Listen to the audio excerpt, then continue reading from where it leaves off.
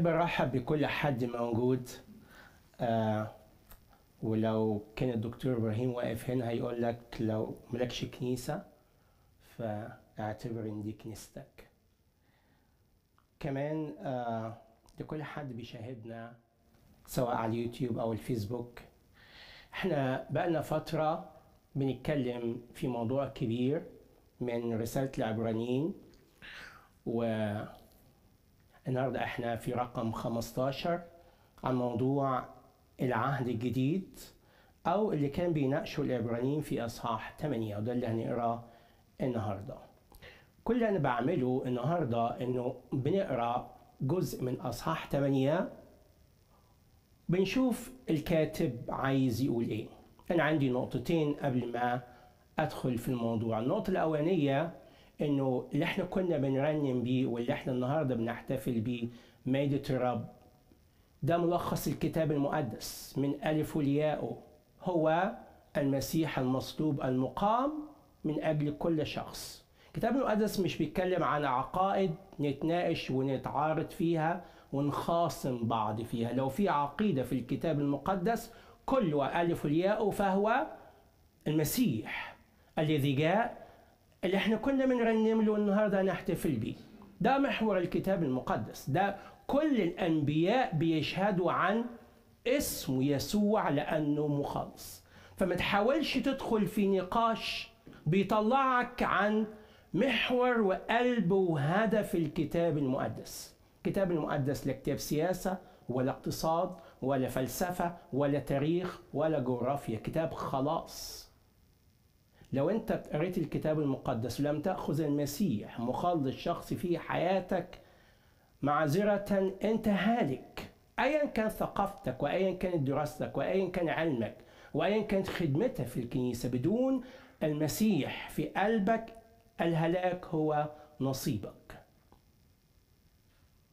إحنا كنا بنسمع مع الأخ جوزيف الفرزي إن في ناس بتحاول إنها تقرأ الكتاب عشان تنقض الكتاب.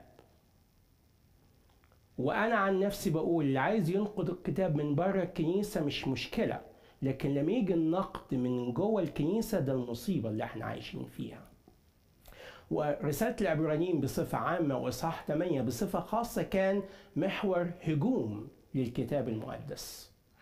ولكن أنا هقرأ أول آية في عبرانيين 8 أول آية دي قرايتنا النهاردة بس هقرأ قراية مش أكتر. في عبرانيين 8 آية واحد بيقول أما رأس الكلام. لو أنت ما حضرتش أي خدمة من الخدمات اللي إحنا بنقولها ده العبرانيين بيلخص كل اللي بيقولوا في كل الأصحاحات اللي فاتت. في الأصحاحات السبعة يعني أنا لما أجي كمدرس وأجي مثلا في نهاية السنة بقول لهم شايفين الملخص بتاع المنهج هنا. واحد اتنين تلاتة أربعة. فكاتب العبرانيين كان بيحكي كتير في أصحاح واحد واثنين ثلاثة وأربعة لغاية أصحاح سبعة ده كان يعني بصراحة تعليم تقيل شوية عن رئيس الكهنة الذي ليس على رتبة هارون ولكن على رتبة ملك صادق تكلمنا فيها الأسبوع اللي فات دي وأثبتها من قصة موجودة في العهد القديم وهي ملك صادق الذي ظهر لإبراهيم وإبراهيم أعطاه العشور أي أعطى له التقدمة أي أعطى له كل المجد والكرامة بصفته أعلى منه. وبالتالي فلم يكن الهدف في الكتاب المقدس من الكهنوت اللاوي أو كهنوت هارون ده كان موجود حتى وقت الإصلاح. أو حتى مجيء المسيح. ده مش الهدف. اللي إحنا هنلف وندور حواليه. ده كان موجود عشان يقول إنه مفيش حد يقدر يوصل ويوفي ويكفي دفع الخطية إلا ذبيحة المسيح الواحدة الكاملة المرضية أمام الله. ده اللي بيعمله كاتب العبرانيين. عشان كده لما يجي هنا في آية رقم واحد بيقول رأس الكلام خلاصة الموضوع. خلاصة العبرانيين بل خلاصة الكتاب المقدس كله. أن لنا لنا ده ليا وليك. مش لأي حد تاني. لنا ده بتاعتنا إحنا. لنا مين؟ رئيس كهنة. وإحنا قلنا قبل كده والكنيسة إيه علاقتها برئيس الكهنة. الكنيسة ملهاش علاقة بالكهنوت أساسا. ولكن رئيس الكهنة ده كان ممثل الله في العهد القديم. كان بيدخل في قدس الأقداس وحده بس ليعملها ليقدم عن نفسه وعن كل شعبه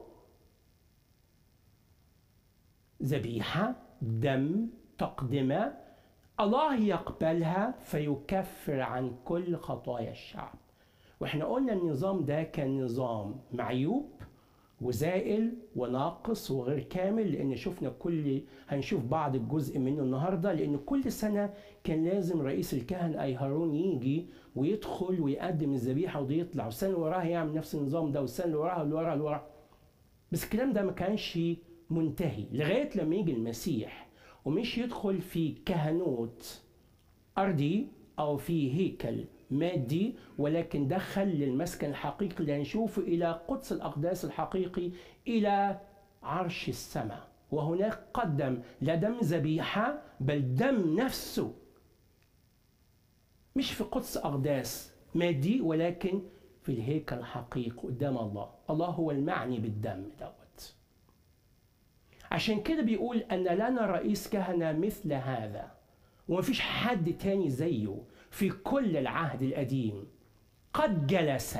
جلس دي متعديش لأن كل العهد القديم ما كانش فيه كرسي أساسا جوه الهيكل ممنوع الجلوس. الكرسي ده ما كانش موجود متوفر. فرئيس الكهنه كان يقف ويقدم الخدمة دي ويطلع ما يقعدش.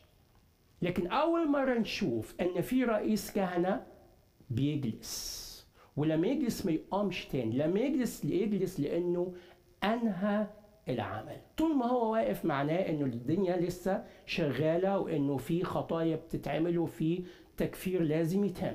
لكن لما يجلس معناها إنه أنهى الموضوع أو أتم الموضوع إنه إنه خلاص. جلس فين؟ مش جوه الهيكل ولكن في يمين عرش العظمة فين؟ في السماء. فالمسيح السماوي جه من السماء عشان يخلصنا إحنا ومش يسيبنا هنا في الأرض ولكن كمان هياخدنا معاه فين؟ في السماء. ده ده الهدف من الخلاص مش إن إحنا نخلص هنا ون ون ون ونروح أو نتلاشى أو زي ما حد بيقول ننتهي. لا في حياة أبدية. وهو يضمن لنا الحياة الأبدية لأنه رئيس الكهنة إحنا بنقول أنه خدمة رئيس الكهنة هي أنه يشفع في الناس التعبانين. في الناس اللي عندهم مشكلة مع الخطية. فبيجي عند كرسي الرحمة ويترجى من الله إنه يقدم لهم رحمة ويغفر لهم الخطايا بتاعتهم. وده اللي عمل المسيح. هنا بيقول خادما للأقداس والمسكن بس شايف كلمة الحقيقي دي. طالما إنه كتب كلمة حقيقي إن معنى كده كان في حد غير حقيقي أو كان في مثال أو رمز شبه الحقيقي وده اللي كان موجود في كل العهد القديم اللي هنشوفه في آية رقم خمسة. في آية رقم خمسة بيقول إن في ناس بتخدم شبه السماويات مش السماء عينها ولكن تخدم شبه السماويات وظلها. الظل يعني أنا دلوقتي لو أنا وقفت في النور أنا في الظل. هما كانوا شغالين في الظل ده لكن حقيقي ما كانوش شايفينه لأن المسيح ما كانش لسه جه. فهم شغالين في الظل وبيترجوا إن الحقيقي في يوم من الأيام هيجي وينهي الظل. لما يجي الحقيقي الظل ده خلاص ما يلزمناش لأنه اختفي. عشان كده دول كانوا بيعملوا في المسكن. شايف المسكن ده؟ أهو المسكن ده كان مسكن شبه حقيقي شبه سماوي. ده اللي كان موجود في أيام كل العهد القديم. لأنه الله قال لموسى في العهد القديم أنت هتعمل شبه المسكن الحقيقة على الأرض ليه يا رب ما تعملش الحقيقي مرة واحدة؟ أولا لأن الوعد ما كانش تم، ثانيا لأنه ملء الزمان ما كانش لسه جه. فكان لازم الإنسان يحس بعجزه، فشله، عدم قدرته واستطاعته أن يوفي مطالب الله إلا في المسيح. يجي لو كان العهد القديم قادر يخلص الناس ما كانش فيه لزوم لمجية المسيح وكان كل قصة التجسد والصليب قصة لا معنى لها لازم تفهم ده. عشان كده بيقول خادما هما الناس الآية خمسة دول كل هارون والكهنة كان بيخدموا. وهو كمان بيخدم. بس مش بيخدم في الأرض ولا عمره يخدم في الأرض. يخدم فين؟ يخدم في الأقداس الحقيقية. وفي المسكن الحقيقي. الذي نصبه مين؟ الرب. مين اللي نصب ال... الهيكل أو خيمة الاجتماع؟ موسى اللي نصبها. ومين اللي نصب الهيكل؟ سليمان اللي نصبه. بس الرب المسيح يخدم في هيكل نصبه الرب لا إنسان. وده موجود في كل عهد قديم على فكرة إنه الله لا يسكن في هياكل مصنوعات الأيادي. الموضوع ده منتهي على فكرة. معروف من أيام زمان على فكرة. لكن في آية رقم ثلاثة بيقول لأن كل رئيس كهنة يقام لكي يقدم قرابين وذبائح دي خدمة رئيس الكهنة. دي شغلته الأساسية. أنه يجي في يوم الكفارة يدخل مرة في السنة قدام كرسي الرحمة وياخد من دم الذبيحة ويرش على تابوت العهد. وإحنا قلنا إن تابوت العهد ده كل اللي جواه شريعة. لأنه أنا كاسر شريعة. والله بيرش الدم ده عشان يكفر عن عدم أو نقصاني لتتميم الشريعة.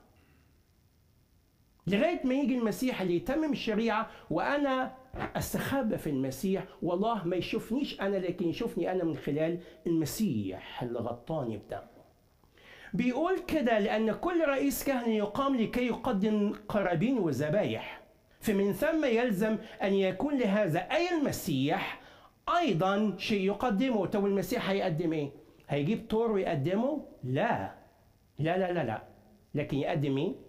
نفسه يقدم نفسه لكن آية رقم أربعة إحنا ناقشناها في الأصحاح اللي فات بيقول فإنه لو كان على الأرض لو المسيح كان موجود على الأرض لما كان كاهنا قلناها المرة اللي فاتت. ما ينفعش المسيح يدخل الهيكل. ما ينفعش. يضربوه يطردوه من الهيكل. ليه؟ لأن المسيح من سبط يهوذا. والكاهن واللويين كلهم ورئيس الكهنة موجودين من سبط لاوي. فالمسيح ممنوع إنه يقدم عن الشعب بحسب الناموس الأرضي لما كان كاهنا إذ يوجد الكهنه اللي بيقدموا القرابين حسب الناموس والمسيح ما يقدرش يدخل في المنطقة دي. بس إحنا شفنا المرة اللي فاتت المسيح قدر إنه مش يدخل في الهيكل الأرضي ولكن في الهيكل السماوي ليس بصفته من سبط هارون ولكن بصفته ملكي صادق. ملكي صادق اللي ظهر في سفر التكوين لإبراهيم كملك وكاهن في آن واحد. وده إثبات إن المسيح هو ملك وكاهن في آن واحد. مفيش ملك ينفع كاهن في كل قديم. الملك بيجي من سبط يهوذا والكاهن يجي من سبط لو الاثنين ما يتقابلوش مع بعض ابدا. بس المسيح اللي عمل دي. بس مش عملها بنسبه الجسدي ولكن عملها كونه ابن الله. ودي كان آخر آية ختم بيها عبرانيين سبعة. كونوا ابن الله ابنا مكملا. آية خمسة قلناها الذين يخدمون شبه السماوات وظلها كما أوحى إلى موسى وهو مزمع أن يصنع المسكن مسكن أرضي. الله وراله نموذج مكت. أن تصنع كل شيء حسب المثال. إذا كل موجود ده في الأرض ما كانش حقيقي كان مثال شبه سماوي ظل للسماء. ما كانش الحقيقي ما كانش الهدف ما كانش القصد ولا الغاية. الذي أظهر لك في الجبل ولكنه أي المسيح ولكنه الآن متى حصلت الآن؟ لما مات المسيح وقام وجلس في يمين العظمة. شكرا للناس اللي صاحية وفاهمة إحنا بنعمل إيه؟ وجلس في يمين العرش الع... ده لما وقف في... قعد المسيح في الحتة دي. الآن حصل على خدمة أفضل. وجه المفاضلة هنا أفضل من مين؟ من اللي كانوا بيعملوه كل دول في الظل. حصل على خدمة أفضل واحد بمقدار ما هو وسيط لعهد أعظم. آه هنا إحنا قلنا إنه موسى كان وسيط العهد أيام العهد القديم. لكن المسيح هو وسيط العهد في العهد الجديد. بس هذا العهد عهد أعظم. وده مفهوم العهد الجديد. قد تثبت على مواعيد أفضل.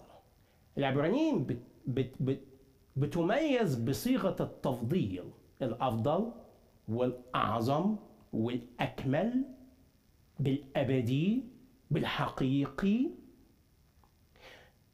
بس يجي في آخر آية آية رقم سبعة بيقول فإنه لو كان ذلك الأول بلا عيب لما طلب موضع لثاني لو كان الأول بلا عيب لما طلب موضع لما طلب موضعا لثاني لما أنا أحط الاثنين دول في أول وفي تاني مين الأول ومين التاني لو كان ذلك الأول لعهد الناموس وعهد شبه السماويات عهد الظل عهد موسى عهد كهنوت لاوي وهارون لو كان بلا عيب لو كان يعرف يوصل لو كان يعرف يخلص قضية الإنسان ما كانش في داعي إنه يجيلنا المسيح وأنت المسيح جاي تعمل إيه؟ ما إحنا وصلنا ما إحنا خلصنا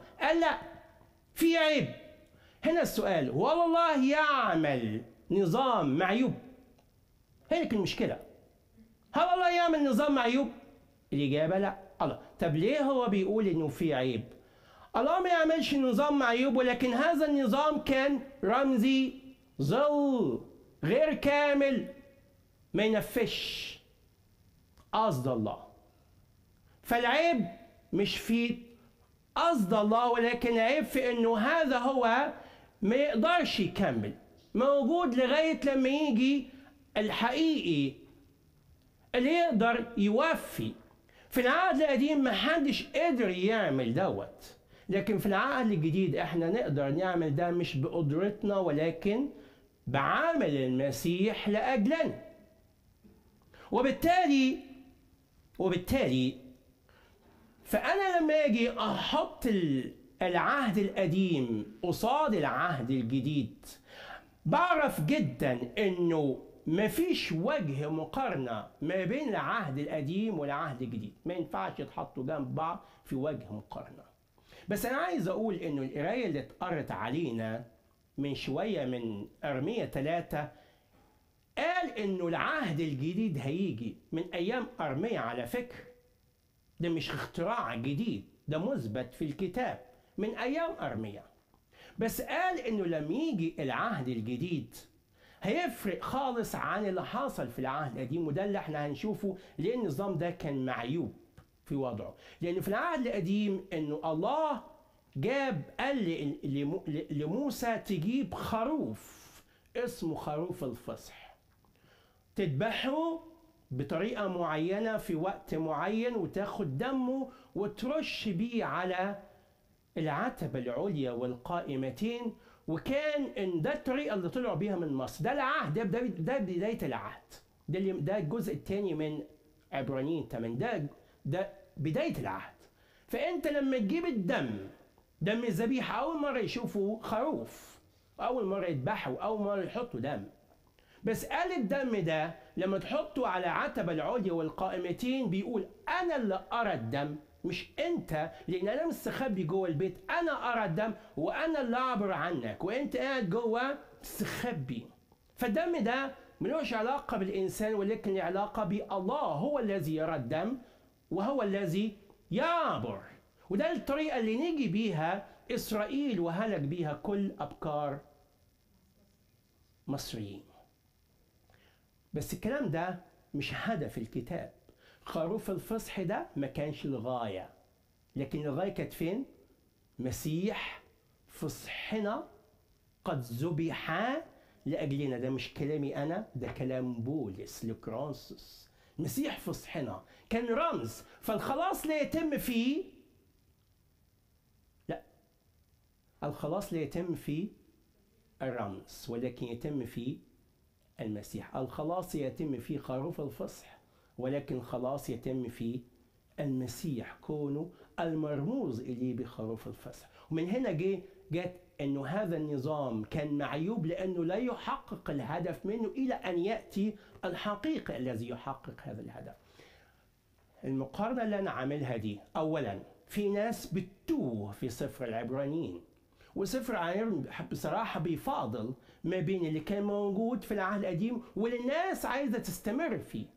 واللي الناس عايزة تشتغل فيه والناس مش هين عليها إنه يجي المسيح ويقول لهم الموضوع دوت ما كانش نافع ودلوقتي الإيمان بيا وبالذبيحة بتاعتي وبعمل الصليب وهو المرضي قدام الله وبالتالي طالما أنا جيت فما فيش رجوع مرة تاني للعهد القديم أو للنظام الهاروني أو لنظام الطقوس والذبايح الموضوع ده ما ينفعش. بالعكس لو انت استمرت فيه ده معناه إنكار لذبيحة المسيح معناه إن انت موضوع تحت الغضب في الدينونة. وبالتالي أنا حاطط المقارنة دي. اولا لتسهيل قراية عبرانيين 8 ثانيا عشان أوضح لك إنه المقارنة دي ليست لإثبات.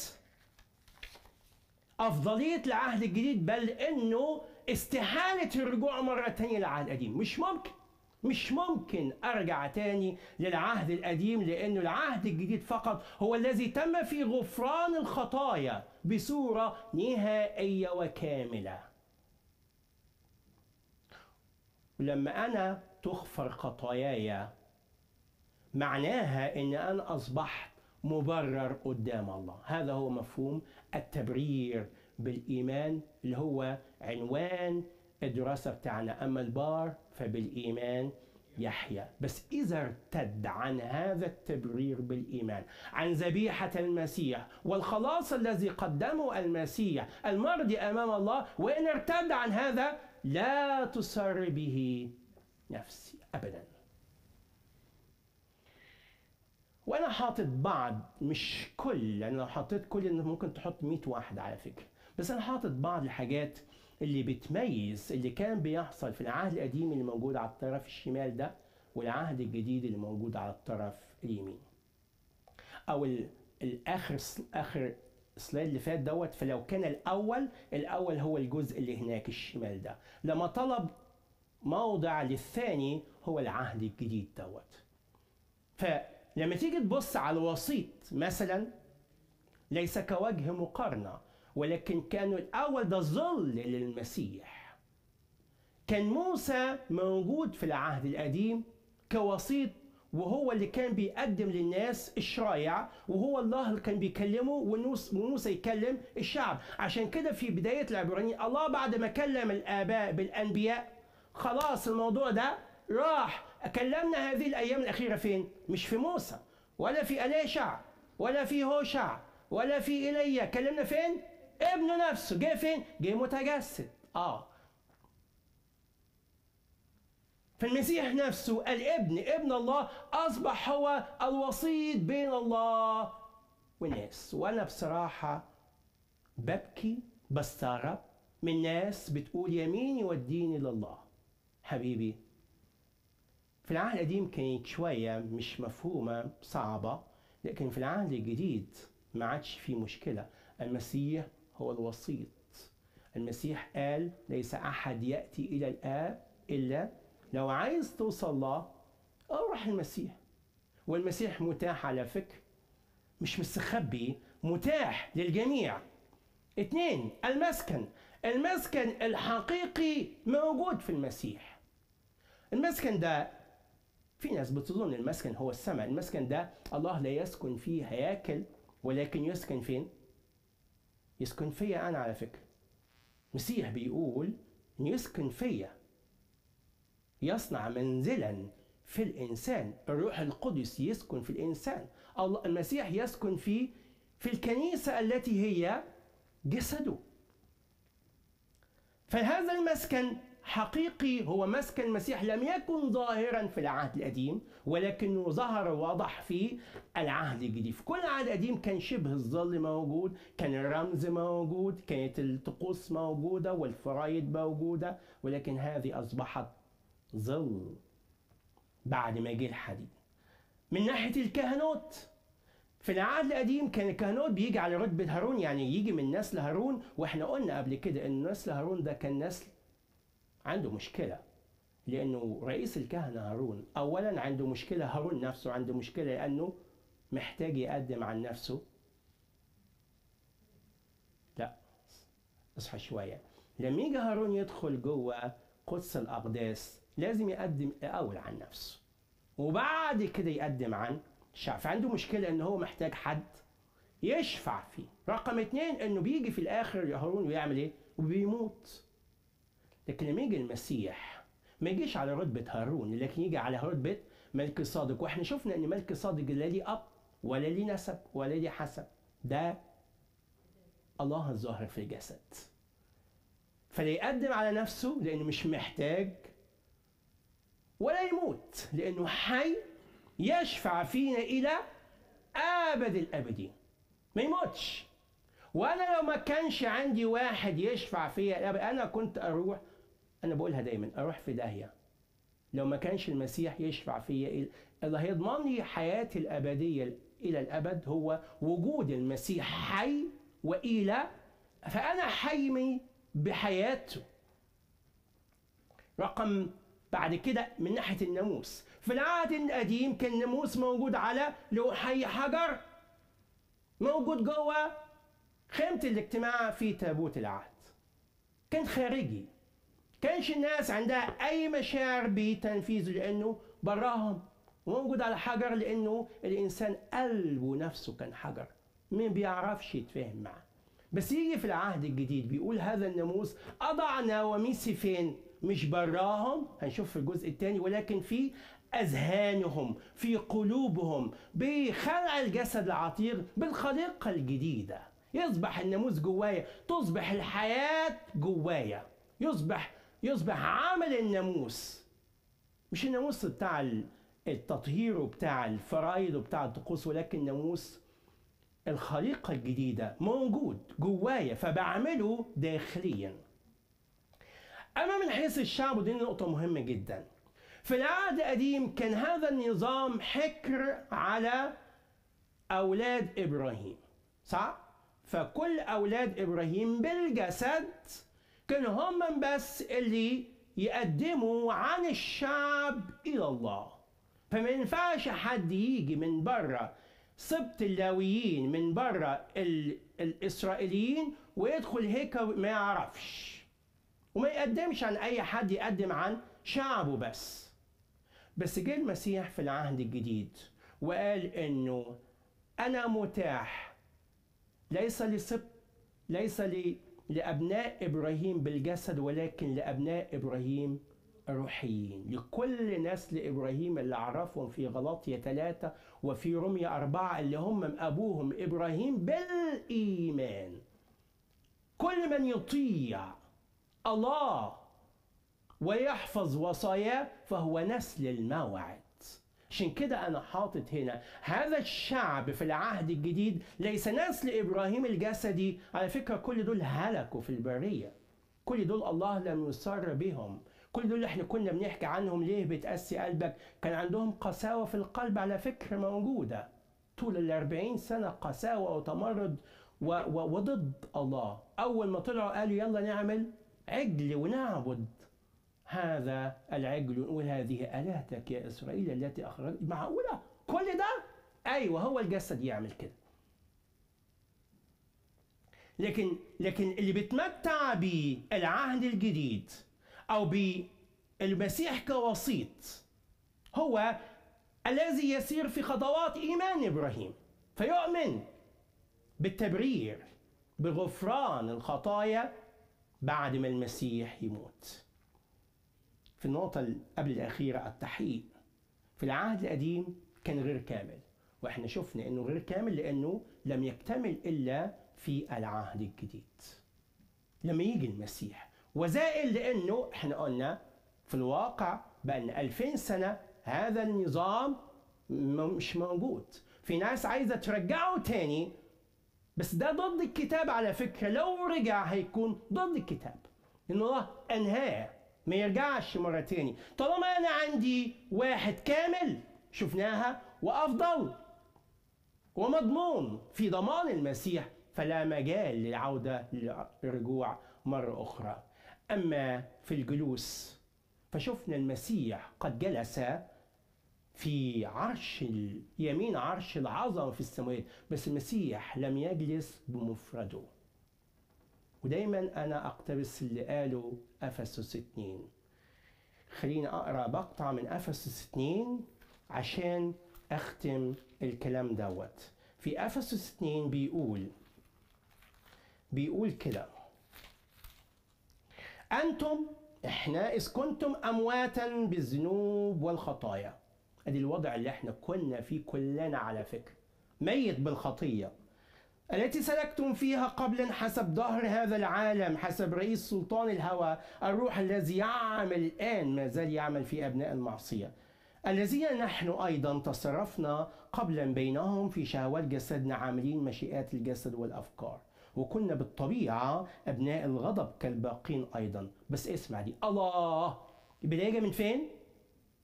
من الله. مش مني أنا على فكرة الله ليه؟ الذي هو غني في الرحمة. فاكر كرسي الرحمة ده؟ اللي كان موجود جوه القدس أهو ده.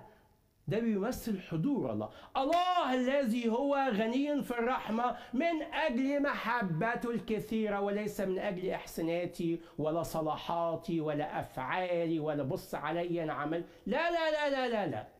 الذي من أجل رحمته ومحبته التي أحبنا بها من خلال شخص المسيح.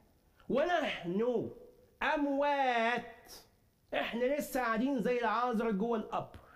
لا حراك لنا في قمة الفساد في قمة الغضب والعصيان. وإحنا كنا هناك. يقول كده.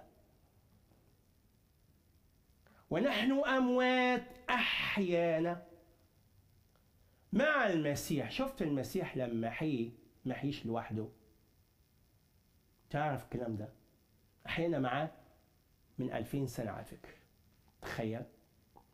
أحيانا مع المسيح بالنعمة فقط يعني في رحمة وفي محبة وفي نعمة وفي بالنعمة أنتم مخلصون. بس شايف الحتة دي. وأقامنا أقامنا. معه وسبنا في الأرض. أقمنا معه بلا هدف. يا جماعة المسيح لو ما كانش قام في ترنيمة بتقول لو كان صليبك أنهى قصة حبك لما كنت الآن حيا. لو المسيح ما كانش قام أنا كنت هلكت. بس المسيح لو كان قام وسابني أنا ضايع برضه. بس عارف المسيح لما قام؟ يقول أقامنا معه مش سايبنا على وش الأرض نهيم ولكن يقول أجلسنا معه في السماويات في المسيح يسوع. يا يا يا ده ده اللي كان موجود في عمق الخطية في موت الخطية في في الفساد في كنا أبناء الغضب كل ده يحصل فيه وأنا ما كنتش دريان على فكرة أنا ما كنتش دريان باللي بيحصل. يقول أقمنا معه. والمسيح لما يجلس فين؟ ممكن نجيب السلايد اللي قبله. المسيح لما جلس جلس فين؟ عارف انه أجلسنا معه ليه؟ بس هو ما بيقعدش براسه بيقعد كله. وفين كل جسده؟ فين جسده؟ ده إحنا. إحنا جسده. تخيل. ويجي حد بعدين ويقعد يندب في حظه ويقول إن أنا بصلي مش لاقي حد يرد عليا وأنا لوحدي وأنا مش لاقي حد يشفع فيا أنا مش لاقي حد يتكلم معايا. أنا هقرأ لك آية إحنا قريناها قبل كده عن خدمة المسيح كونه رئيس كهنة قبل ما هنرنم الترنيمة دي. أنا حاولت إن أخلص بسرعة قبل ما إحنا نتقدم للميدان. لازم تعرف إنه ماذا يفعل رئيس الكهنة. أول واحد في عبرانيين 2 آية رقم 17 بيقول من ثم كان هذا المسيح ينبغي أن يشبه إخوته في كل شيء لكي يكون رحيم. إحنا ما بنرحمش ولا حد بيعرف يرحم لكنه بيعرف يرحم. ورئيس كهنة أمين. فيما لله أولا يكفر عن خطايا الشعب. أول حاجة يعملها لما يدخل جوه قدس الأقداس يدخل بدم ويكفر لأن الكتاب عنده قاعدة واحدة بس بدون دم لا تحصل مغفرة. دي قاعدة موجودة في كل الكتاب. في ناس ما بيعجبهاش قواعد الكتاب المقدس. براحتك حاول. بس الكتاب له قواعد. والقاعدة بدون سفك دم لا تحصل مغفرة. هل سفك دم الذبيحة الحيوانية كمل المغفرة؟ لغاية ما يجي المسيح كانت المغفرة دي بتيجي على حساب اللي بيعمله المسيح في الصليب. بس بعد كده مفيش رجوع مرة تاني. لكي يكفر عن خطايا الشعب لأنه فيما هو تألم مجربا يقدر يعرف اتعلم أن يعين المجربين. مين المجربين دول؟ إحنا حالتنا على فكرة. إحنا مجربين فيها. في عالم موضوع في الشرير. كلنا مجربين. عشان كده يقدر يقول كده في إصحاح أربعة مرة تاني عن هذا الرئيس الكهنة. شفناه قبل كده في إصحاح أربعة آية 14 في ذلك رئيس كهنة عظيم قد اجتاز السماوات أي سماوي يسوع ابن الله. فليتمسك بالإقرار. لأن ليس لنا رئيس كهنة غير قادر أن يرثي الضعف. وقلنا قبل كده المسيح يرثي للضعف وليس للخطية وللتمرد والعصيان. بل مجرب في كل شيء مثلنا ولكن بلا خطية. فنتقدم بثقة إلى عرش النعمة لكي ننال رحمة ونجد عونا نعمة عونا في حينه. خلاصة الكلام اللي كان بيقولها أي حد أي حد ما زال يعاني من تأثير الخطية في القلب. ما زال يعاني من تأنيب الضمير ما زال يعاني من مشاكل مش قادر يتحرر من الخطية. المسيح بيقول أنا أشفع عنك كوني رئيس كهنة. أنا أعرف أعمل ده. أنا أعرف أمسك بإيدك. وأخدك من موت الخطية إلى قيامة في الحياة الأبدية في السماويات معايا. وده اللي عمل المسيح على الصليب على فكرة. ده هدف مجيء المسيح وموته وصلبه إنه يكمل اللي كان النظام بتاع الهرم مش قادر يعمله. خلينا هنرنم مع فريق الترنيم وفي الآخر أنا هختم بصلاة وبعد كده هيبقى في فرصة للتقدم للمائدة. وإحنا بنرنم الترنيمة دي. الترنيمة دي جميلة جدا وأنا بصراحة حاسس إن هي في صلب الموضوع. فإحنا لينا رئيس كهنة. لينا رئيس كهنة عظيم بيقدر يشفع في المجربين. وإحنا كلنا في يوم من أو آخر بنحس بوعكة الحياة ومشاكل الجسد والخطية وبنصرخ أحيانا. بنتألم مش عارفين. بلا ما تشكي لي همك روح للمسيح وقول لي يا رب ساعدني. لو تعبت من القعده ممكن نقف نشترك في الترنيمه دي. أنا عايزك تصليها عايزك تصدقها عايزك تصدق في المكتوب وتقرر إنك تعيش للمسيح